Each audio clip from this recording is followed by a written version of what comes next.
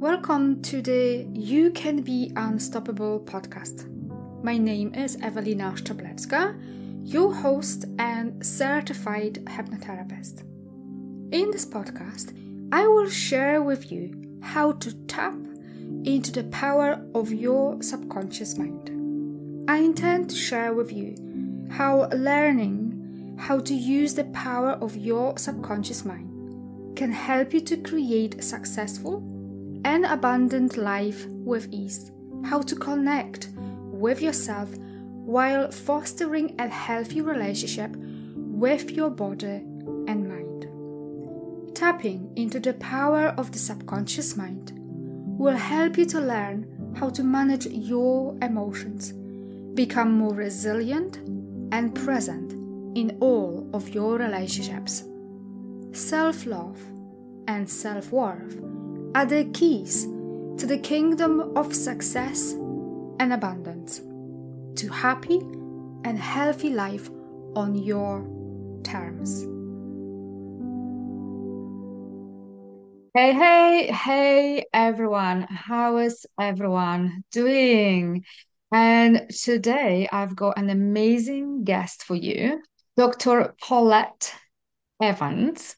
And she identifies as a process improvement project management expert who utilizes proven methodologies to effectively and efficiently solve problems at work, at home, and everywhere in between. Because this ability comes naturally to her, she launched Evans Efficiency Experts, process engineering consultancy focused on helping people and organizations solve complex problems, implement lasting changes, and improve the efficiency in their lives. That's amazing. Welcome to the show. Thank you. Thank you for having me. Oh, amazing. And before we even start, I want to say happy birthday. I believe Thank you had birthday recently. Yes, yes, it was last Friday, and we, I had a fabulous weekend celebrating. Amazing. So happy birthday. Thank um, you. So you are highly educated, highly accomplished from what I can see. And yes, ma'am. My interpretation is that you have a lot to offer to people that you work mm. with and other women around you. And I'm curious, what does empowering other women means to you and how does that look like to you? Mm-hmm. So empowering women to me means that I am always there to help them, encourage them, make sure they understand they can do anything they want to do, that they are strong enough, they are enough, they are capable of many, many things. And I just make sure I'm, I'm articulating that and saying it to them on a regular basis. A lot of women, we know that we can do all these things and that we're great and we're fabulous, but sometimes they just need to hear it. And so I like to reassure women that they are as amazing as they think they are, and they have no reason to doubt themselves, like ever. Mm, that's beautiful. Um, because I think us women coming together, we are much stronger.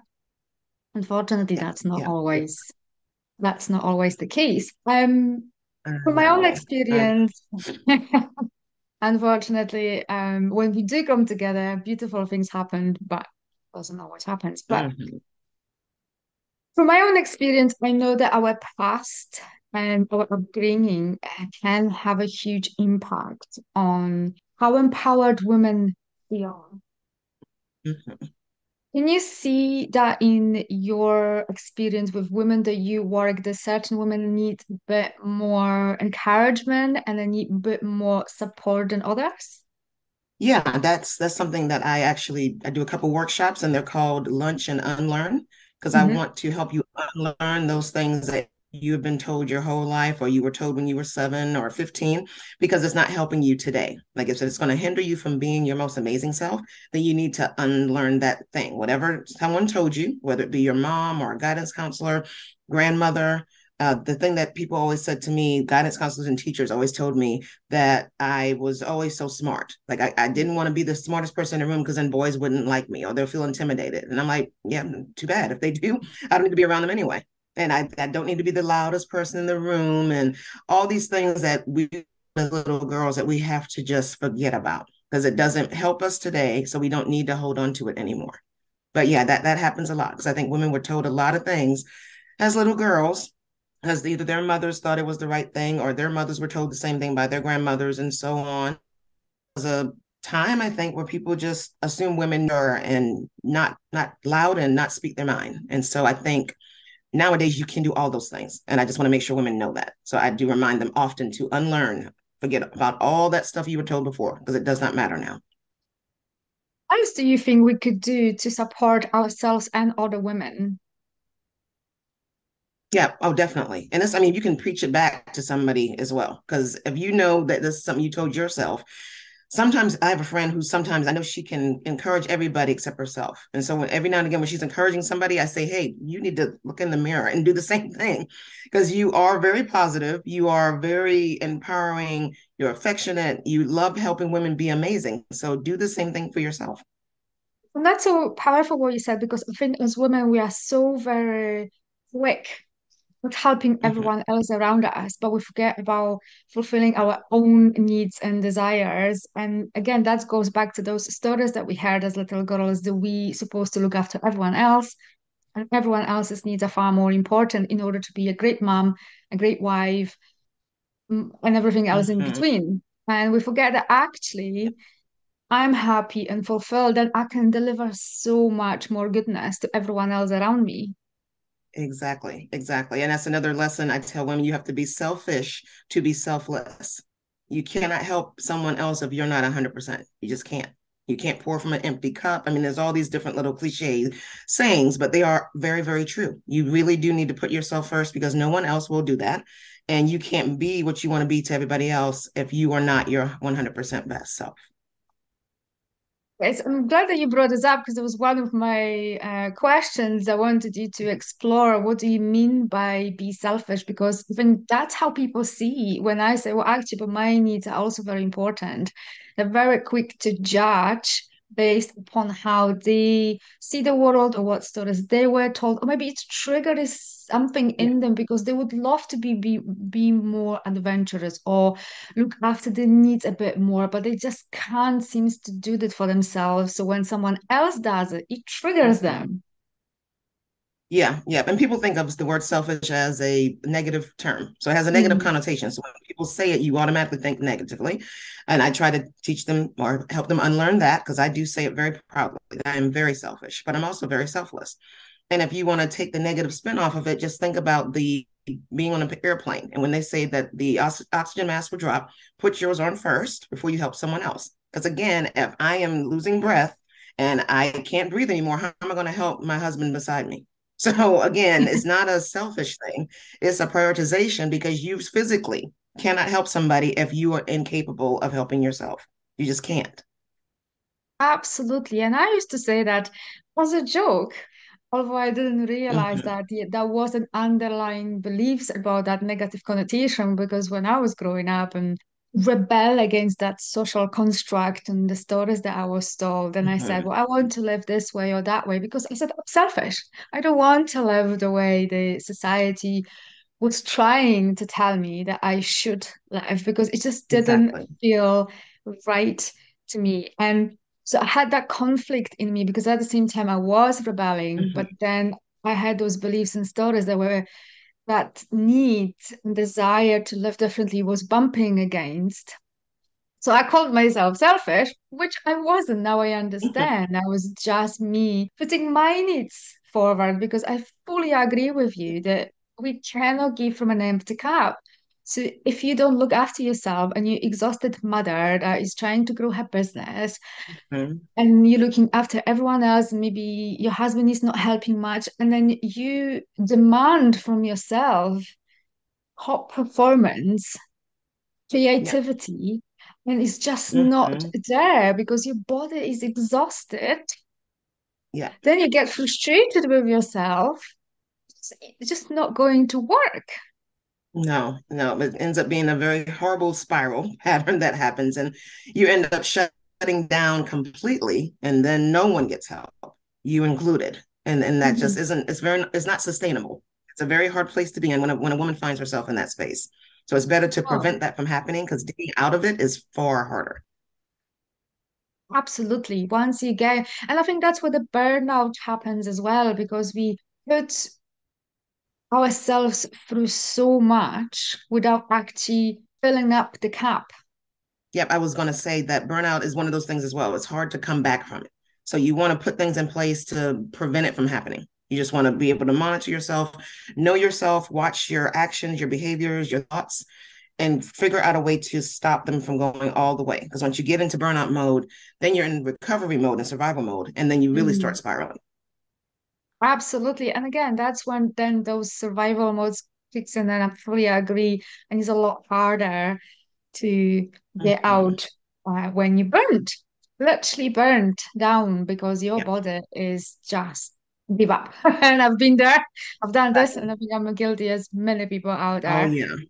Um, so would that lead or connect to something else that I know that you talk about, which is prior prioritize your sanity because no one else. Mm-hmm. Well, can you talk more about this? What does that mean? Yeah. So my thing is I, I don't do anything unless it has a positive ROI for me. And that's, you know, that's not just, just money. That's happiness, that's peace, that's joy.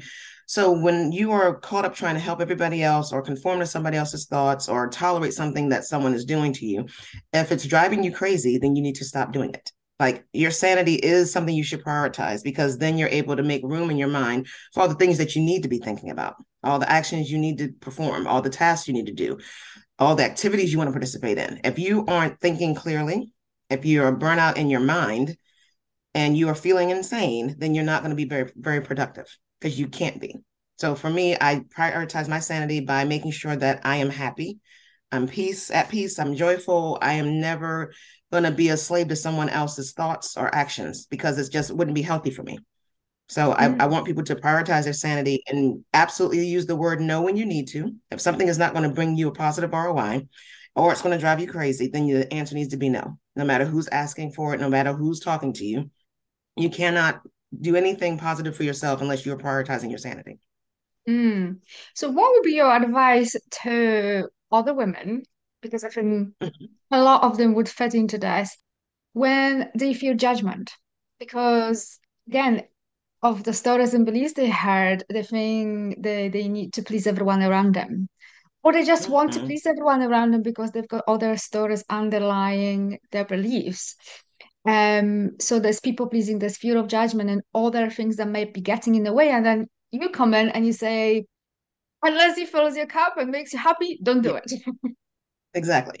so, and judgment is one of those things. It's more of us guilt tripping ourselves, and I think it starts bouncing off of us into what we think somebody else is thinking. And you can't know what someone's thinking anyway. You can't read their minds and you can be the only person that can judge you. Like you you don't have to feel judgment from someone else because whatever someone else feels for you doesn't matter. I mean it really isn't significant and it shouldn't be. So judgment is a waste of, of energy. You don't need mm-hmm. to judge yourself. If you're doing what you want to do then you pat yourself on the back because again no one else is doing it for you. So if you think that person is feeling judgment then you can ask them do you want to do this for me instead then I can be less selfish and do something for you, I guess. But it has to be a, a you know give and take. I can't do all of it for me and then also help you because I'm wondering if you're going to judge me because you think I'm being selfish. I mean, like it's just a spiral that's kind of insane. So again, you can be the only person to truly judge yourself. And I wouldn't waste any energy on judgment. If you're doing what you want to do and you're happy doing it, then all is good. There's no room for guilt. There's no need for judgment. I love what you're saying. Um, when I've learned this, because I I struggled with fear of judgment. Um, because um, so I don't know how if you know, but I'm actually Polish, and when you grow up, all you hear is "Don't do this." What the neighbors will think. you know, going to Sunday church, you need to your wear your Sunday best and all those things. So I actually the stories I heard, you have to fear the judgment of everyone around you. So when I've learned, actually, I don't have to fear anyone. I was like, oh, this is very refreshing. That's um, right. But people will judge. That's what we do. We will have opinions. We will look at you, and like I mentioned um, earlier, someone may judge you because they're actually jealous of how you are, and they would love to be the way you are, but they just mm-hmm. don't have that courage to to do it. So mm-hmm. if someone's got things like this, what do you advise to them in terms of identifying those stories that maybe, you know, stopping them from really fully showing up for themselves and um, don't care what everyone else thinks? Mm-hmm. How do you help yeah, them? I, I want that? women to yeah, so it's more me understanding what it is that's keeping you. Like like you just said, it's the stories, the things we were told as when we were little girls. I always want to know what is guiding you to behave the way you're behaving today. Like what is it you were told? What is it you were taught? And then I start peeling that back to try to understand more of why you think that five-year-old you hearing that and listening is the same 40-year-old woman now that is hearing that same thing in your head and you think it applies. There are plenty things I was told at 10 that I couldn't do at 10 I'm an adult now, though. So those things don't apply anymore. Like you don't have to follow rules that you were following at 10 when you're 40 or 50 or even 20. I mean, things change. So your mindset has to change as you're getting older and wiser. And you have to stop doubting yourself because you don't have to answer to anybody but yourself at this point. So you don't have a mother screaming in your ear that you're talking too loud. You don't have somebody saying, no, you can't drive the car. You're an adult, so you can do adult things. And part of being an adult is saying what I want to do and doing what I want to do and it is okay. And it only has to be okay with you. You don't have to please anyone else. If it's okay with you, then it's good. You do not need anyone else's approval to be your grown self. Oh, I love this. I love this so much. we need more people speaking about this because I think that is a huge fear mm-hmm. that is stopping a lot of people. I bumped into many clients that have some level of fear of judgment, whether it's the husband or the mother or someone else or the neighbor or something along those lines. You really do yeah. fear what someone else may think. Um, which is amazing because I remember I've had the conversation with my brother recently when he said, I admire you what you do. I couldn't do it mm-hmm. because he fears the judgment. Mm. Yeah. Um, so it was interesting conversation um between me and him. You know, we're coming from the same household, yet we hold different beliefs. Strangely. Yeah. Yeah, it's true. My brother and I are very, very similar. We have our differences, uh, but we do both like literally not care what anyone else thinks. So we, we do have that in common. So yeah. Well, that's yeah, amazing. Yeah, we amazing. Um, what does living um unapologetically means to you because for me it means be true to yourself and that also means stripping those stories and beliefs and figuring out mm. who do I want to be, how do I want to live, and go for it. And yes, sometimes we will fail and other times we will succeed, mm-hmm. but it's really living the way I want, not the way my mother told me to live, not the way the society tells me to live. And I think that takes huge amount of courage and self-trust. Mm-hmm. And I wanted to hear what does that mean you? Yeah, I mean, it's, it's exactly what you're describing. It's that thing where you know how you want to show up every day, and you just need to do that. And again, if we stumble, we fall, we fail, as long as you're learning from it, then it's a success it may not be the success you planned, but it's still something that you've achieved. and then you can use that to go and do the other things you want to do. But it really is about living your best life, not answering to anyone, and not being on society's timeline. That one is huge. I, I had a girlfriend in college that wanted to plan her wedding and children and all these things like to the T. And I was like, a lot of it, you can have aspirations, but you are not going to be able to time everything out like that. So you don't need to meet society's timeline. You don't need to be society's best. For me, and I, I tell women, having it all is very, very respective of who you are. What does having it all mean to you? For me, having it all is I have an amazing husband, I have a dog, I have a house, I can do whatever I want to do, I have my freedom. To me, I have it all. I don't have children because that was never on my list of having it all. So for me, society is a little different when they define what a woman should want and what a woman's having it all means when the woman herself needs to define what it means to have it all and you don't have to apologize to anybody for not meeting their expectation. The only expectation you should worry about is meeting your own. And that's how you get to be living unapologetically. And I think that's also a happy life because expectations, uh, excuse me, uh, just if children are listening, expectations are a bit because when we having expectations and we don't meet them or something mm-hmm. will not happen the way we expect to happen, that's where the frustration comes in. And like exactly. you mentioned, your friend having everything planned out, I think that's when we patch out that possibility for unexpected to happen. And usually, mm-hmm. in my experience, the unexpected is way better than I can even imagine. True. Especially when you open up or you're open to it, experiencing things that you didn't plan for. That is when the most amazing things seem to happen. And that's what I've realized. I, I do plan a lot. I'm a big planner, but I've had all these amazing other experiences that I didn't even plan for or didn't even think about that would drop into my lap. And so I'm always grateful. I'm always open, always looking for new opportunities, but I'm also not afraid to try something new or go off the plan a little bit if I have to. Yeah, and I think there's a key what you said, being open. Because thing when we are rigidly focused on our plan, that's when we don't see other opportunities floating exactly. around. We completely blocked mm-hmm. on that. But when we open to the possibility, and yes, having the plan, an idea where we're going, we're not having yeah. every single step plan out because I think that's when we're blocking that energy of possibility. Mm-hmm. Oh, and unexpected yes. things to to happen. Uh, certainly, I can speak from my experience when I was who in my zone of planning. Um, that's when I was blocking a lot of the things coming into my life. Mm-hmm.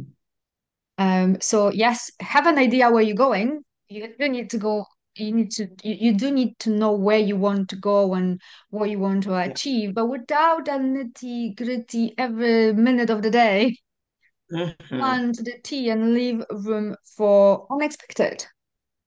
Yeah, exactly. A little buffer time. Never hurt anybody. Yeah, and I also agree with you what you mentioned about children. I don't have children either. And society was very quick to tell me that I cannot be um, a fulfilled woman, a happy woman, because I don't have children. Yeah. And I'm like, well, exactly. that was never on my agenda. And like you no. say, you know, I love traveling, I love my freedom. I never wanted mm-hmm. children. You know, I've got much younger brother, and to be honest, he's my child. I love that. A huge gap difference between us, and I had to look after him from the day he was born. So I've always mm. treated him as children. So when I got into my twenties, and all my friends were getting married and having kids, and I was like, you know what? Good luck to you.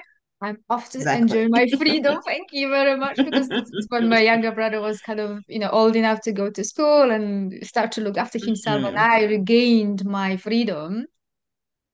I was like, yes. okay, so you enjoy your life, and I'm gonna go off and enjoy my teenage years because I didn't have them because I had a much So I totally agree with you, and I think that's why yeah. I've always been um not interested in having children. And then I was, you know what? Mm-hmm. I don't need one. I already have one. well, it's not my child, so it'll be my brother. Yeah. But that's yeah, that's fair thing where it comes to being courageous enough to decide to live differently. Mm-hmm. Yeah. Be different. In a society, I think, where promotes living prescribed way, mm-hmm.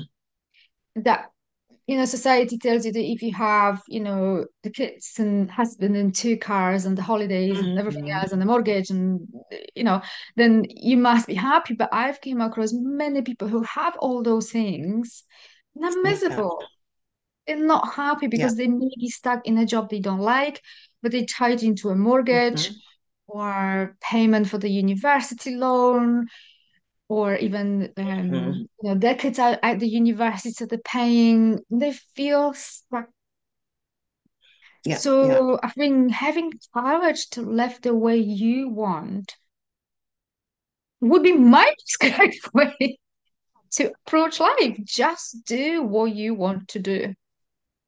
Would you agree? yeah, exactly. And I'm always always wondering what if anyone's thinking about all the things that women, our ancestors, have fought for us to have. Like they fought for us to be able to vote. They fought for us to be able to drive. They fought for us to be able to go to work, to get educated, everything. They've also fought for us to have our rights. So why would you not do what you want to do when there's so many people fighting so hard to get us to a point where we can do what we want to do? Mm. So that's Absolutely. that's the only thing I can always think of. Is like I know they fought for me to be able to do all the things I'm doing, so I'm gonna do everything I can do while I can. Exactly. So to switch the conversation slightly, we live in a very busy world where our attention is being pulled in so many different directions, and social media terrible at mm-hmm. this. And how in a world so busy in a world where you want to do something for yourself, maybe you're trying to grow your business or, mm-hmm. you know, get promotion in a in a business in a career that you have, how do you become more efficient without losing your sanity? yeah, yeah. So I, I like to utilize the tools I have at my disposal. Uh, my calendar, my phone is more of a, a worker for me. And like I don't spend a lot of time scrolling through social media and all that. I'm looking at my calendar. I'm setting alarms. I'm setting reminders. So I use it more of a as a productivity tool than an actual phone. Um, I do carve out time for myself when I just need a moment and I don't want to think. I don't want to work. I don't want to solve anybody's problems. So I do put me time in my calendar. So I'll have a chunk, either two hours, three hours, depending on the day. Uh, I do put everything in there that needs to be done because I don't want to rely on my memory all the time. Because you know sometimes you're forgetful because we have so much going on in our minds and our lives. So I do put to do lists in there, uh, calendar, contacts, to do lists. Like those are the things that are always up to date in my calendar and in, in my phone, in the palm of my hand. And I also have it synced with my laptop. So things are across different devices too. So then I always kind of know at my fingertips, I know I can have everything I need to make sure I get everything done in the day that I'm in or the day before. I start looking at the next day, the day before. So I know what I'm waking up to do also. Yeah, and I think I've I've had someone um quite a while back, and she was a pro productivity coach, and we've discussed this um as well that so some people would work to decide the night before what is the tasks for the next day and other people would prefer to do this in the morning and i'm more a morning person when i sit down and decide okay what is yeah. that i need to do today? And i think for me and what i'm hearing you saying as well is like decide what works for you. And again is being you know what works for you decide how you operate you know because we are all very different. Um mm-hmm. exactly. and like i certainly don't work very well under pressure and i know plenty of people who know of the thing they work very well under pressure, which mm-hmm. I don't fully agree with it. Yeah. I think there is actually um, some sort of trauma response to that. Um, again, mm-hmm. it, it comes back to the courage and self trust. Exactly. Yeah. And deciding how do you want to show up for yourself. Yeah, exactly. That's again, that's that that's saying that, or what like I said earlier, it's your having it all is based on you it's, it's relative. Everyone's all is not the same, and everyone doesn't function the same when it comes to being productive. Some people like a a to-do list and a planner that they can write out because they remember things and they put things into action once they've written them down. And that's also fine. Whatever works for you is what you use because you're the person using it. So it doesn't make sense to use somebody else's like way of doing things if it doesn't work for you. Right. So yeah. Awesome. Um this podcast is titled You Can Be Unstoppable, and I like to ask my guests for their three top tips to become unstoppable. Mm. So, first one is figure out what you need to hear or see or read first thing in the morning. Have a mantra that you either, again, a song you like to listen to, a couple words you want to say to yourself, or a poem you like to read.